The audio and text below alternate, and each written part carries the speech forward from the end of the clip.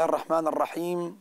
والحمد لله رب العالمين والصلاة والسلام على الحبيب المصطفى أبي القاسم محمد وعلى آله الطيبين الطاهرين المعصومين المنتجبين. السلام عليكم إخوتي أخواتي أيها المشاهدون أيها الموالون جميعا ورحمة الله وبركاته. وصلنا إلى موقف من مواقف القيامة ومنزل من منازل القيامة. وهو تطائر الكتب أو ما نعبر عنها بصحيفة الأعمال أو صحائف الأعمال. ولهذا أنت في التلقين ماذا تقول؟ اسمع وافهم يا فلان في آخر قيد. أن الله سبحانه وتعالى نعم الرب وأن محمدا صلى الله عليه وآله وسلم نعم الرسول. وأن عليا والأئمة من ولده نعم الأئمة إلى أن توصل.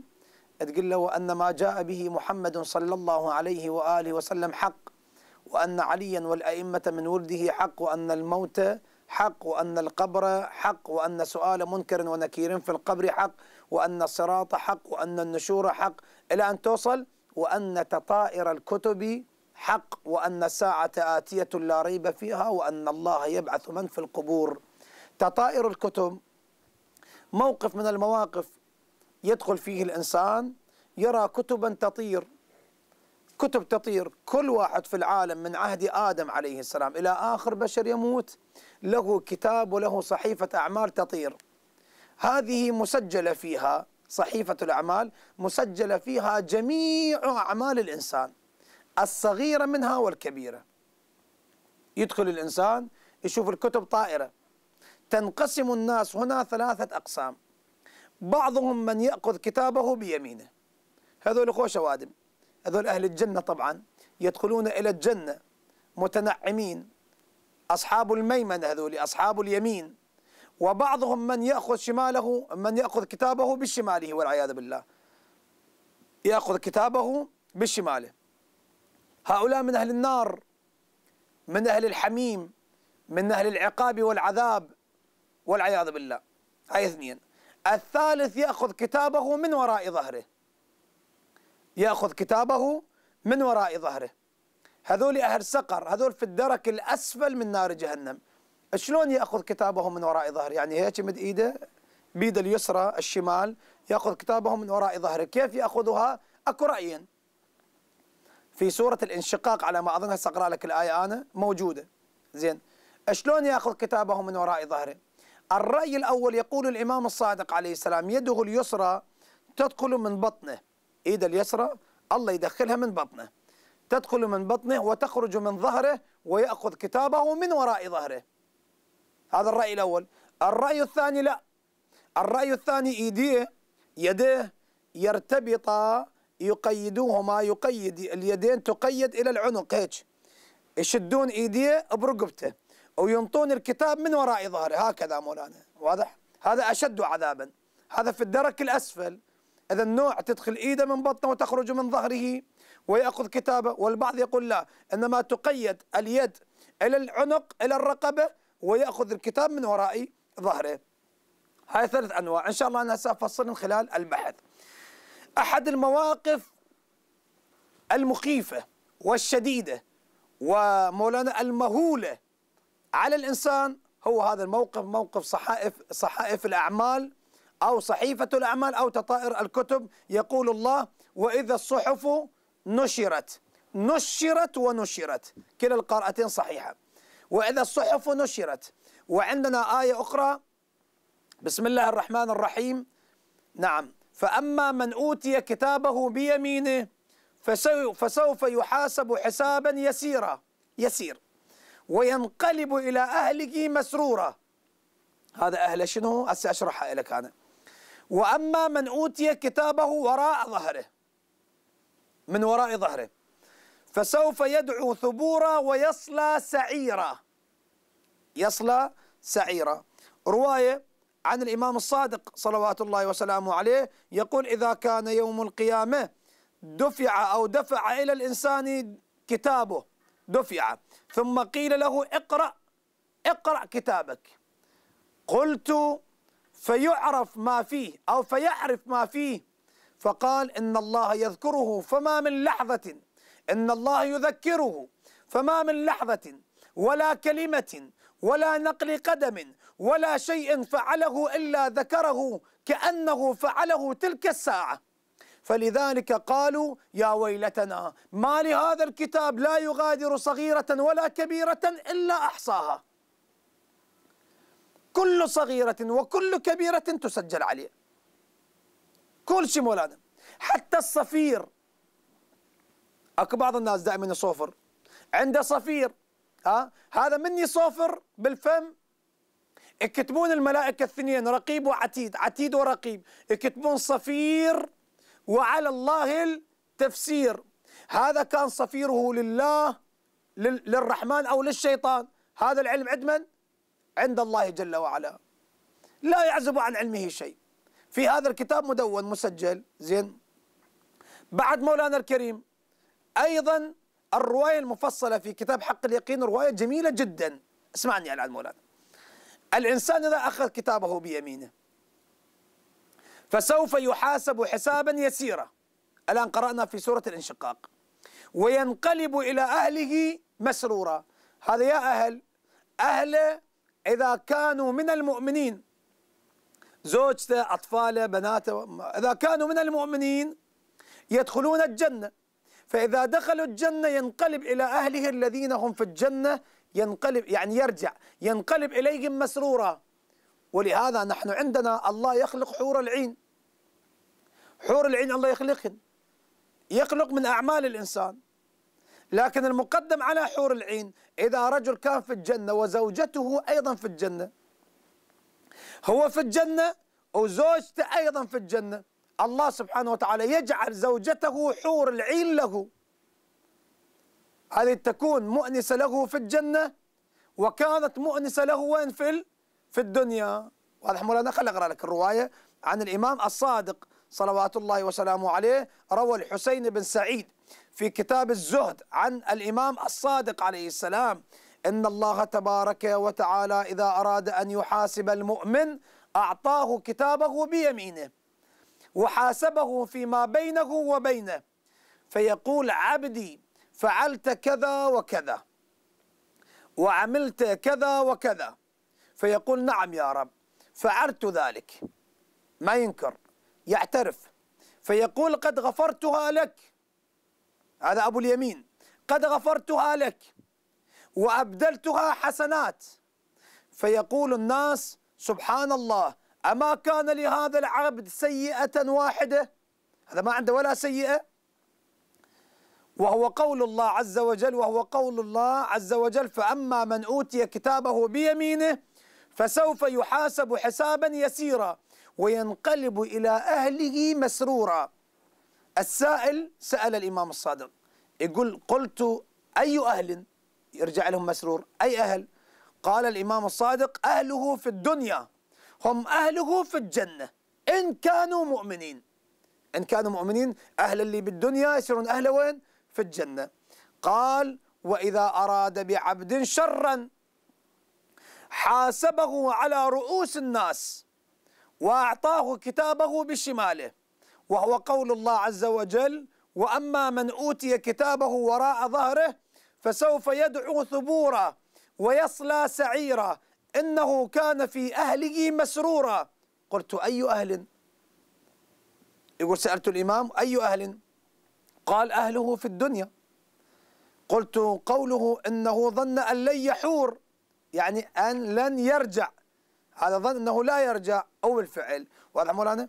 اذا هذا بالنسبة إلى المنافقين والكافرين والمشركين وقتلة الأنبياء وقتلة الأئمة المعصومين كالشمر ابن ذي الجوشن وكابن ملجم كجعدة بنت الأشعث هؤلاء كالذي قتل فاطمة الزهراء سلام الله عليها. كالذي قتل الإمام السجاد قتل الإمام الباقر الإمام الصادق. هؤلاء يأخذوا كتابهم وكتبهم من وراء من وراء ظهورهم. ولهم الويل والثبور. ولهم عذاب شديد وعقاب أليم. تطول مدته ويدوم مقامه. واضح مولانا؟ هذا بالنسبة إلى آه، الحساب أو تطائر الكتب مولانا. طبعا أكو أعمال تهون على الإنسان زين وتعطيه الأمل. وبعض الناس وللأسف ينكر ذلك. يقول له إلهي أنا ما عملت كذا.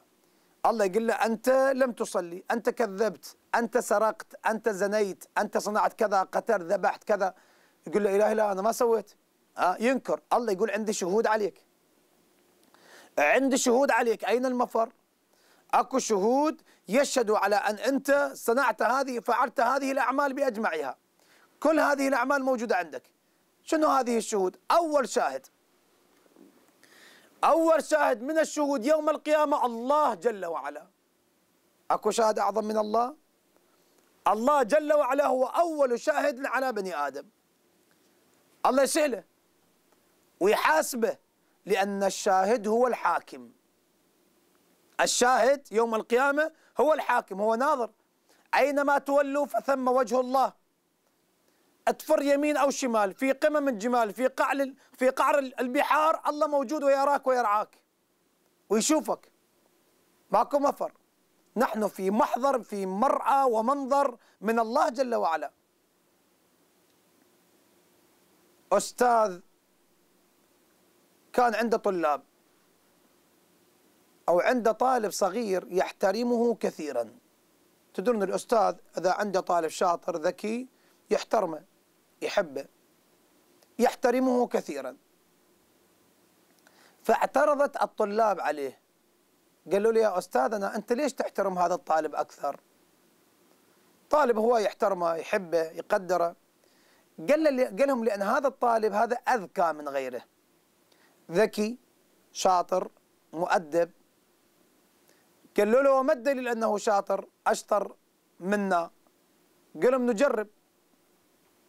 شنو التجربة؟ وقف في الصف الأستاذ قال لهم غدا كل واحد منكم أيها الطلاب فليذبح طيرا في مكان لا يراه أحد. يذبح طير في مكان كل ما حد يشوفه. ويجيب الطير مذبوح. زين هسه الأبو يروح يذبح مثلا يذبحه في مكان كل ما حد يشوفه. راحوا الطلاب في اليوم الثاني كل من جايب له طير مذبوح. هذا الدجاجة هذا كذا. كلهم ذبحين اجى هذا الولد الطفل الطالب المحترم اللي دائما الأستاذ يحترمه جايب له دجاجه ما مذبوحة حية. عدله مو ميتة. أعطاها بيد الأستاذ. قال له ولدي لماذا لم تذبح الطير لم تذبح الدجاج؟ قال لي يا أستاذ أنت قلت أن تذبحوا الطير في مكان لا يراكم فيه أحد. وأنا أينما توجهت وأينما ذهبت لم أرى مكانا خال من الله جل وعلا. الله يراني يسمعني وهو موجود. ولهذا لا أستطيع أن أذبح في مكان يراني الله فيه. لأن أنت قلت اذبح لا يراكم فيه أحد. قال أرأيتم؟ هذا شاب ذكي طالب ذكي مؤدب. واضح مولانا اذا الله هو الشاهد يوم القيامة. أكو واحد يقول لا الله أنت ما كنت موجود والعياذ بالله. لا الله موجود. الله شاهد وحاكم. هذا أول شاهد من الشهود. ولهذا نحن عندنا يوم القيامة من أسمائها يوم الأشهاد. تطلع الشهود. من جملة الشهود الأنبياء. كل نبي يشهد على قومه. عيسى عليه السلام على قومه. موسى عليه السلام على قومه. إبراهيم عليه السلام نوح عليه السلام لوط عليه السلام سليمان داود آدم. كل الأنبياء صالح هود كل الأنبياء يشهدوا على أقوامهم وأممهم. والدليل الآية الكريمة بسم الله الرحمن الرحيم فكيف إذا جئنا من كل أمة بشهيد؟ من كل أمة بشهيد شاهد عليهم. يشهد على قومه. أي اثنين. الثالث الشاهد الثالث النبي صلى الله عليه وآله وسلم. النبي الأكرم يقول الآية الكريمة وجئنا بك على هؤلاء شهيدا وما أرسلناك إلا شاهدا ومبشرا ونذيرا. شوف الأهمية مولانا. رسول الله صلى الله عليه وسلم الله شو يقول؟ وجئنا بك على هؤلاء شهيدا. هسه على هؤلاء ياهم أكو آراء متعددة. البعض يقول النبي الأكرم شاهد على كل الأقوام من عهد آدم إلى آخر بشر يموت. لأن الله خلقه قبل خلق الخلق بألفي عام. لا يعلم أمن أعوام الدنيا أو أعوام الآخرة. واضح مولانا العزيز؟ هذا الرأي الأول. الرأي الثاني لا. يقول لا إنما هو شاهد عليه من على الأنبياء. فكيف إذا جئنا من كل أمة بشهيد اللي هم الأنبياء وجئنا بك على هؤلاء؟ يعني على الأنبياء. هذا الرأي الثاني. على الأنبياء وجئنا بك على هؤلاء شهيدا. رسول الله يكون شاهدا حتى على الأنبياء لعظمة رسول الله لأنه سيدهم لأن النبي سيد الأنبياء. زين. بعد من الشهود مولانا الشاهد الأول الله الشاهد الثاني الأنبياء. الشاهد الثالث النبي صلى الله عليه وآله وسلم. الشاهد الرابع الأئمة المعصومين صلوات الله وسلامه عليهم أجمعين. الأئمة إمام كل زمان شاهد على أهل ذلك الزمان. لأن لا تخلو الأرض من حجة ولا تخلو الأرض من إمام بعد رسول الله. إما حاضر وإما غائب. في كل زمان حجة. هذا الحجة لو نبي لو إمام. الآن نبي ما عندنا لأن خاتم الأنبياء هو رسول الله صلى الله عليه وآله وسلم. الآن نحن عندنا أئمة. الإمام علي عليه السلام يشهد على أهل زمانه. الإمام الحسن الإمام الحسين. إلى أن نوصل الشاهد الشاهد وإمام زماننا علينا في هذا الزمان الإمام الحجة بن الحسن العسكري الإمام المهدي. أرواحنا لتراب مقدمه الفداء وعجل الله فرجه وسهل مخرجه. ليش؟ لأن من مات ولم يعرف إمام زمانه مات ميتة جاهلية. إذا لكل زمان إمام. ولهذا نحن عندنا في كل ليلة جمعة بعقيدتنا نحن الشيعة في كل ليلة جمعة تعرض أعمالنا على إمام ذلك الزمان. الآن إمام زماننا تعرض أعمالنا ليالي الجمعة للإمام سلام الله عليه. فإذا أخذ صحيفة أعمالنا خلال الأسبوع يقرأها يقرأ فيها عبادة صلاة زيارة للإمام الحسين يستأنس فيفرح فيدعو إلى صاحب العمل. وتعرف دعاء الإمام المعصوم مستجاب. لكن إذا شاف بيه مكسرات وذنوب ومعاصي مولانا زين بسرقة بكذا بكل شيء مولانا مما لا يرضي الله جل وعلا يحزن الإمام فيبكي. ينكسر قلب الإمام سلام الله عليه. وتعرف ما ذنب الذي يكسر قلب إمامه؟ واضح مولانا؟ إذا تعرض أعمالنا على الأئمة المعصومين. إمام كل زمان هو الشاهد يوم يوم القيامة علينا. واضح مولانا؟ هذا من الشهود الرابع. الخامس مولانا من الشهود الملائكة. الملائكة من الشهود. الله سبحانه وتعالى وكل علينا اثنين من الملائكة. الملائكة المقربين رقيب وعتيد. عتيد أبو اليمين ورقيب أبو الشمال. إن شاء الله نشرح ذلك لكم. في الحلقة الآتية ونذكر لكم بقية الشهود بحول الله وقوته ونشرح قضية الملائكة بشكل أوسع بحول الله وقوته وآخر دعوانا أن الحمد لله رب العالمين وصلى الله على محمد وآله الطاهرين.